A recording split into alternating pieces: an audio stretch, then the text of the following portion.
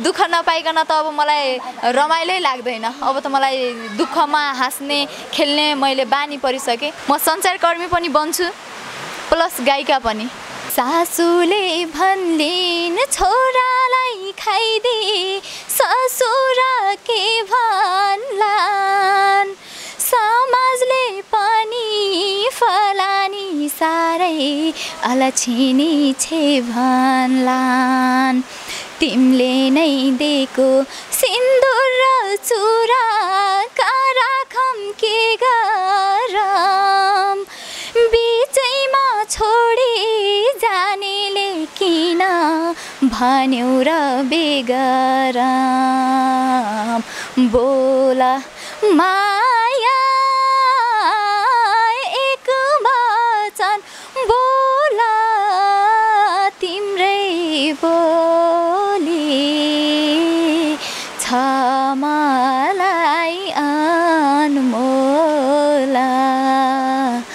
बाबाको सपना चाहिँ पुरा गर्न सक्दैन किनभने मेरो सानैदेखिको सपना नै जर्नलिजम थियो जर्नलिस्ट बन्ने जर्नलिजम पढ्ने सिङ्गर बन्ने। विश्वास गरेँ उसको नाममा ट्रान्सफर गरिदिएँ उसलाई त्यो गरेँ। अब त्यो पैसा कहाँ गयो के भयो त्यो कुनै लापत्ता भयो अब थाहै भएन। दुई तिन लाख रुपियाँ ब्याङ्क ब्यालेन्स गरेको थिएँ। अनि त्यो पैसा अहिले छैन। अब श्रीमानले नै अब कता अब उहाँहरूले खर्च गर्नुभयो।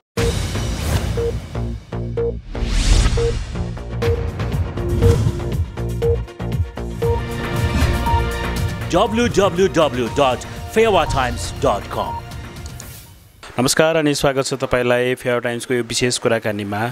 आज हामीसँग हुनुहुन्छ रबिना बादी। उहाँसँग कुराकानी गर्छौँ। स्वागत छ यहाँलाई। नमस्ते। धेरै धेरै धन्यवाद टाइम दिनुभएकोमा। एक सञ्चारकर्मीसँगै सञ्चारकर्मी भन्छु म। हजुर। होइन? त्यो बेलाको सञ्चारकर्मी हुँदाखेरिको अलिकति अनुभव सेयर गरिदिनु। कस्तो भनेपछि पहिला कर्मी हुँदाखेरि यसरी जसरी तपाईँहरू आउनुभएको छ बुङ लिएर है म पनि त्यसरी नै जान्थेँ। अनि उहाँहरूको पीडा सुन्थेँ मनमा एकदम खुल्दुली हुन्छ। तर आज आफैमाथि त्यही पीडा आइपऱ्यो। जस्तो कि उतिखेर मलाई रियलाइज नै हुँदैन थियो फिल नै हुँदैन थियो कि उहाँहरूको दुःख। तर म दुःख भोगेको थिएँ। तर पनि त्यतिको अब म आफ्नो परिश्रममा रमेकी थिएँ त्यतिखेर। अनि त्यतिखेर त्यति रियलाइज म गर्दैन थिएँ किनभने मेरो छोरा नि मसँग थियो साथमा। अनि त्यतिखेर रियलाइज हुँदैन थियो तर साँच्चीकै उहाँहरूले अहिले मसँग तपाईँहरूले यसरी कुरा गर्नुहुन्छ सायद एउटै कुरा सबैलाई सोद्धाखेरि कस्तो खल्लो हुँदो रहेछ भन्ने आफूलाई रियलाइज हुन्छ कि? सबैले अब जति पनि आउनुहुन्छ इन्टरभ्यूहरू लिनु लिनुहुन्छ सबैले अनि उहाँहरूलाई म धेरै धेरै धन्यवाद दिन चाहन्छु र साथै पनि बाल्यकालको पहिलाको सम्झना गरेँ। एकदम कस्तो भिन्नै खालको फिल भइरहेछ कि जुन मान्छे आफै लिएर जाने मान्छे आज आफै कहाँ बुम लिएर आउँदाखेरि भने कस्तो अर्कै खालको अनुभूति भइरहेछ। जुन दिन तपाईँ एसएलसी दिनुभयो त्योभन्दा अलि अगाडिको माहौल त्यो बेला त्यो बेलाको मतलब एक्साइटेड त्यो बेलाको अनुभव अलिकति सेयर गरिदिनु। म पहिलादेखि नै एकदम फटा थिएँ मेरो ड्याडीहरूलाई नि मलाई कन्ट्रोल गर्न बहुत गाह्रो हुन्थ्यो है। यस्तो नगर है छोरी भन्नुहुन्थ्यो है। म त्यही काम अगाडि गर्थेँ। अब ड्याडीहरूले एउटा गर भनेको अर्को गरिदिने अर्को गर भनेको अर्को गरिदिने तर घरमा भने सबैको प्यारी थिएँ एकदम। सबैले माया गर्नुहुन्थ्यो। सबैभन्दा जेठो छोरी थिएँ। हाम्रो खानदानमा फेरि छोरी एकदम कम जन्मिन्छ। छोरीलाई एउटा नारीको लक्ष्मी भनेर भन्छ हाम्रो घरहरूमा। अब अरूकोमा त थाहा भएन तर अरूकोमा त यही अहिले बुहारी भने अनि बुहारीहरूलाई पनि आफ्नै छोरी जस्तो गरेर पाल्छन् हाम्रो दादाहरूको श्रीमतीहरूलाई हुनुहुन्छ। अनि एकदम त्यो थियो। म चाहिँ एकदम फटा थिएँ। मलाई माग्नु भएको अरे ड्याडीले वर पशु के अरे बागेश्वरीमा। मेरो छोरी नै जन्मियोस् भनेर। र शिवरात्रिको दिन नौ बजे मम्मीले दिया बाल्दाखेरि नै म जन्मिएको अरे के। अनि त्यही भएर अब भगवान् शिवले नि यति धेरै दुःख दिइरहनु भएको छ। त्यही दिन जन्मेर भएको होला सायद। शिवरात्रिको दिन नै म जन्मेँ। अनि ड्याडीले चाहिँ एकदम पार्टी गर्नुभएको थियो अरे मेरो छोरी जन्मियो जे मैले मागेको थिएँ त्यो पुरा भयो भनेर। मेरो ड्याडीले भगवान्प्रति पनि एकदम विश्वास गर्नुहुन्छ र म पनि भगवान्प्रति एकदम विश्वास गर्छु। अहिलेसम्म मेरो घाँटीमा अहिलेसम्म यो मेरो भनौँ श्रीमानले दिएको हो। यो चाहिँ मैले अहिलेसम्म फालेको छैन। अहिलेको श्रीमान श्यामले दिनुभएको यो कि मेरो बर्थडेमा शिवरात्रिको दिन जन्मिएको हो भन्दाखेरि उसले चाहिँ अरू केही पाएन चाहिँ यी शिवको माला लिएर आएको थियो। मैले अहिलेसम्म फालेको छैन र फाल्दा पनि फाल्दैन। भगवान्प्रति एकदम मेरो नि विश्वास छ। एकदम फटा थिएँ चकचके थिएँ। अनि पछि चाहिँ बानी कन्ट्रोल हुँदै गयो बुझ्दै गएँ। अनि तर सानै उमेरमा बिहे भयो बिहे भएर कन्ट्रोल भयो। जो पहिलाको माइतीकोमा गरेको ऐसी आराम र सुख घरमा आएपछि एकैछिनमा भत्ता अभङ्ग भइदियो। तपाईँले एसएलसी दिनुभएपछि बिहा गर्नुभयो त्यसपछि प्लस टू गर्नुभयो कि माइतीमै प्लस टू गर्नुभएको थियो? छैन मैले एसएलसी दिएँ एसएलसी दिइसकेपछि मैले चाहिँ सिक्रेट हिसाबमा पढेको है। मेरो पहिलाको घर परिवारलाई थाहा छैन कि मैले इन्टर क्लियर गरिसकेँ भनेर। मैले सिक्रेट हिसाबमा पढेको। मैले एसएलसी बाह्र वर्षको उमेरमा दिएँ। जाजरकोट जिल्लामा पहिलो पटकको केटी हो। म सानो उमेरमा एसएलसी दिने। अनि मैले एसएलसी दिइसकेपछि बिहा अब त्यस्तो केसमा पऱ्यो बिहा गर्नै पर्ने भयो। सामाजिक परम्पराअनुसार बिहे भयो मेरो। अनि त्यस पछाडि अब लाइफ त यसरी हुँदैन। मैले सिक्रेट हिसाबमा पढ्नै पर्छ। भनेर मैले त्यो गरेँ। अनि त्यस पछाडि मैले प्राइभेट फर्म लगाएँ। प्राइभेट फर्म लगाएँ। अनि त्यसरी मैले पढ्दै गएँ। अनि मैले इन्टर क्लियर गरेँ। उमेर त अहिले पनि तपाईँको सानै छ। तपाईँले केही गर्न अहिले त तपाईँको देशका नेताहरूले अब नायिकाहरूले पढिराख्नु भएको छ। भर्खर एसएलसी दिँदै हुनुहुन्छ कतिजनाले।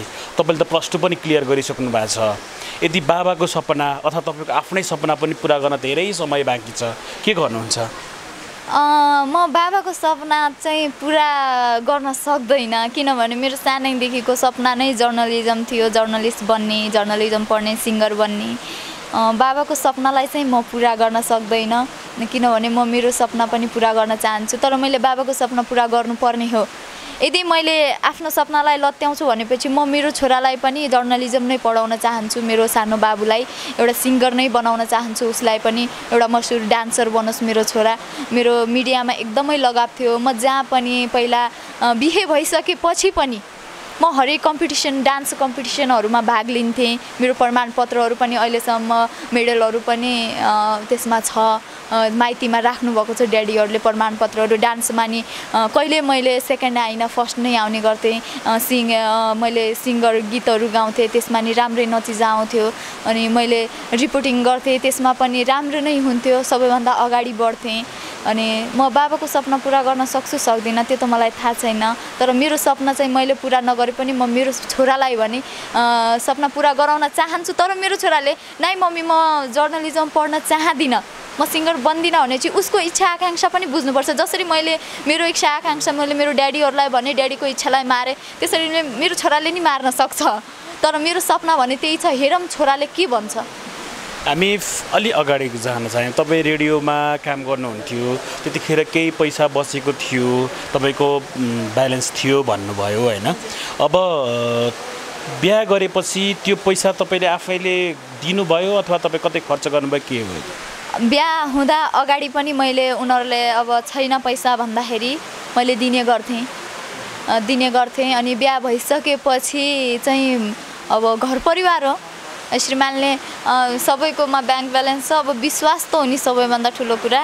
विश्वास गरेँ उसको नाममा ट्रान्सफर गरिदिएँ उसलाई त्यो गरेँ। अब त्यो पैसा कहाँ गयो के भयो त्यो कुनै लापत्ता भयो। अब थाहै भएन दुई तिन लाख रुपियाँ ब्याङ्क ब्यालेन्स गरेको थिएँ। अ, त्यो पैसा अहिले छैन। अब श्रीमानले नै अब कता अब उहाँहरूले खर्च गर्नुभयो। हल्का म माथि नि खर्च भयो होला। मैले नि गरेँ उहाँहरूले नि गर्नुभयो। त्यसको बारे त म अब त्यो पैसा चाहिँ मलाई मतलब छैन।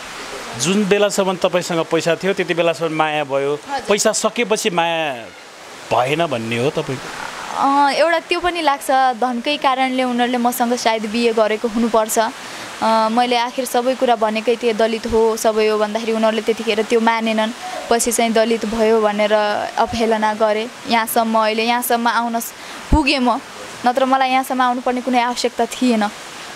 यहाँसम्म पुग्नु पऱ्यो मलाई अहिले बिरामी छोरा काखमा च्यापेर नत्र मलाई यति दुःख काट्नुपर्ने थिएन। सायद धन सम्पत्तिको कारणले पनि हुनुपर्छ।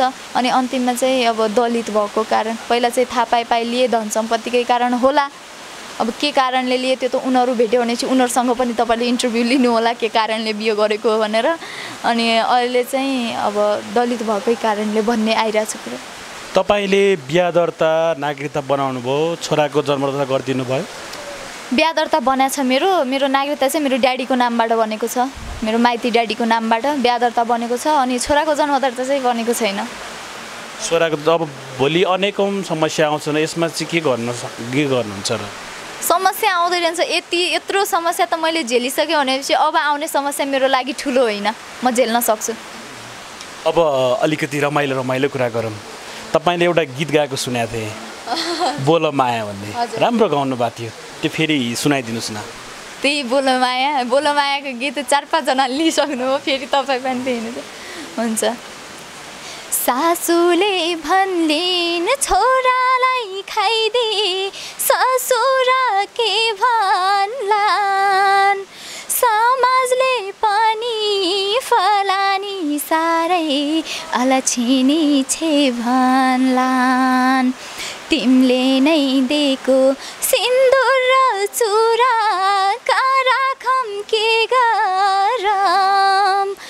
बिचैमा छोडी जानेले किन भन्यौ र बेगरम। बोला माया Bye.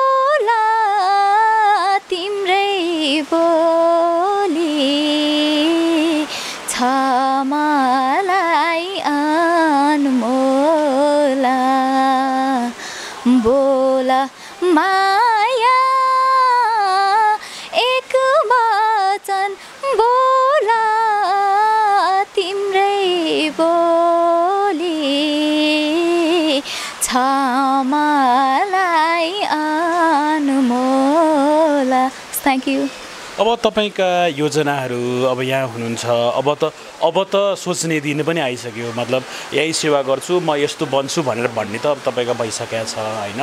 अब के तपाईँ त्यही तपाईँको पुरानो मुद्दा उठाएर त्यसमै न्यायको लागि लडिराख्नुहुन्छ? अथवा होइन मेरा सपनाहरू छन् म यहीँ सेवा गर्छु यहीँबाट पुरा गर्छु भन्ने चाहिँ के गर्नुहुन्छ अब? म डबल काम नै गर्छु। म डबल नै गर्छु। अब जिन्दगी कस्तो लाग्छ भने रिस्क बिनाको जिन्दगी नै होइन। सङ्घर्ष त गर्नै पर्छ। हर कोहीले सङ्घर्ष नै जिन्दगी हो। म दुइटै काम लिन्छु। म जहिलेसम्म न्याय पाउँदैन त्यसलेसम्म म लडिरहन्छु र म आफ्नो सपना इच्छाहरूलाई पनि म पुरा गर्दै जान्छु। भएसम्म सबैको साथ सहयोग मिलेसम्म। म गर्छु। म रिस्क लिएर नै अब अगाडि बढ्ने हो। रिस्क बिनाको जिन्दगी छैन। अब रिस्क दुःख नपाइकन त अब मलाई रमाइलै लाग्दैन। अब त मलाई दुःखमा हाँस्ने खेल्ने मैले बानी परिसकेँ। म रिस्क लिन्छु। म रिस्क लिएर नै अगाडि बढ्छु। रविनालाई अब हामीले गायिका देख्न पाउँछौँ या सञ्चारकर्मीको रूपमा देख्न पाउँछौँ? साथ सबैको भएसम्म तपाईँले दुइटै देख्न पाउनुहुन्छ। म सञ्चारकर्मी पनि बन्छु प्लस गायिका पनि। साथ सबैको हौसला साथ पाएसम्म म दुवैमा परिणत हुन्छु। तपाईँले रेडियोमा चाहिँ कस्तो खालको प्रोग्रामहरू चलाउनुहुन्थ्यो? म रेडियो प्रोग्राममा चाहिँ खासै त्यस्तो त चलाएन। मैले खोजी प्रतिभा चलाएँ आफ्नै रोजाइ। अनि म एउटा गीती कथा भन्ने थियो मेरो प्रोग्राम। अनि त्यो एकदमै हिट भएको थियो हरेक एफएमहरूबाट जान्थ्यो। गीती कथा चलाएँ अनि त्यस पछाडि एउटा गर्ल्स पावर भन्ने प्रो प्रोग्राम थियो। गर्ल्स पावर प्रोग्रामहरू चलाउँथेँ अनि एउटा कृषि प्रोग्राम पनि थियो। त्यो चलाएँ इन्द्रेणी प्रोग्राम चलाएँ अनि मेरो धेरै प्रोग्रामहरू जान्थ्यो अनि धेरै श्रोताहरूले धेरैले माया पनि गर्नुहुन्थ्यो अनि म साथै न्युज पनि पढ्थेँ। अहिले हामी त्यो रेडियोको यहाँ अहिले हामी रेडियोमा जान पुग्न चाहन्छौँ। थोरै एक मिनटमा त्यो एउटा कुनै प्रोग्राम तपाईँ आरजे बनेर चलाएर आम दर्शकलाई देखाइदिनुहोस् न। आम दर्शकहरूलाई।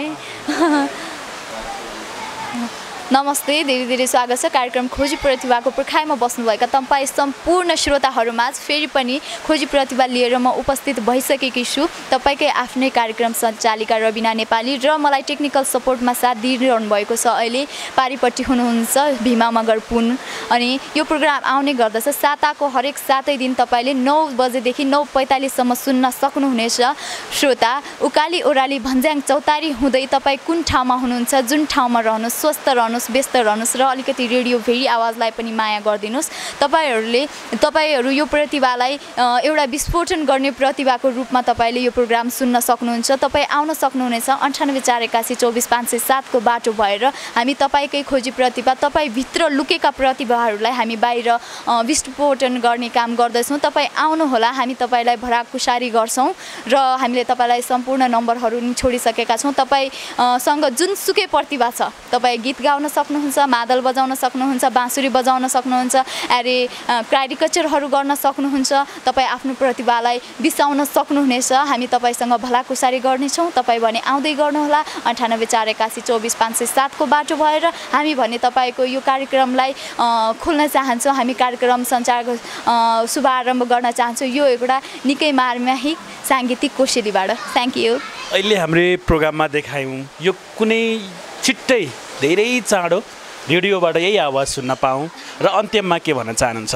अन्त्यमा म सबैलाई धेरै धेरै धन्यवाद भन्न चाहन्छु। विशेष धन्यवाद मानव सेवा आश्रमको सुमन बर्तौला दाईलाई र मलाई अत्तरियाको बस पार्कबाट उठाएर ल्याउनु भयो सरस्वती सावत दिदी अनि मलाई मर्नबाट बचाउनु भयो एउटा विष्णु धिताल दाई रुद्र कडेल यादव पौडेल दाई अनि मलाई विशेष सहयोग त मलाई नेपालगञ्जबाट यहाँसम्म ल्याउनु भयो जोसँग पैसा पनि थिएन। ठेली काटी काटी चलान उठाइ उठाइ चन्दा मागेर मलाई काठमाडौँसम्म पुर्याइदिनु भयो। जानकी मलाई आन्टीलाई धेरै धेरै धन्यवाद दिन चाहन्छु र त्योभन्दा पनि बढी विशेष धन्यवाद। जो म काठमाडौँमा आइसकेपछि यो गिद्धै गिद्धको सहर ढुकुर भनेर छिरेको थिएँ है। अहिले म आफै नै गिद्ध बनिसकेँ है। अनि उहाँ दाईहरूले मलाई एकपटक पनि साथ नछोडेर सहयोग गर्नुभएको छ। किशोर सुनवार दाई र लक्ष्मण रसाइली दाई उहाँहरूलाई विशेष धन्यवाद दिन चाहन्छु कि उहाँहरूले नै हरेक रिपोर्टर रिपोर्टर क्लबहरूमा पत्रकार सम्मेलन गरेर मलाई यहाँसम्म पुर्याउनु भयो यहाँसम्म कि मेरो बस्ने ठाउँसम्म थिएन।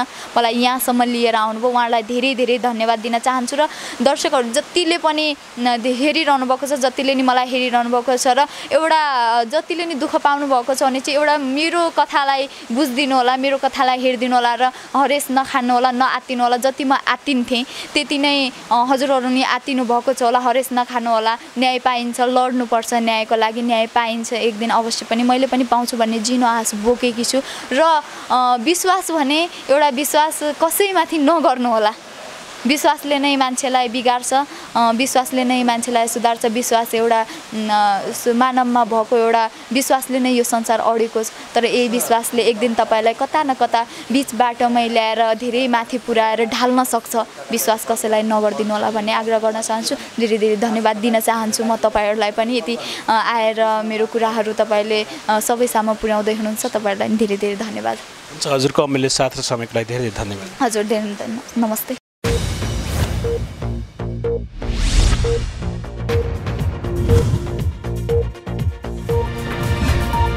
www.fairwattimes.com.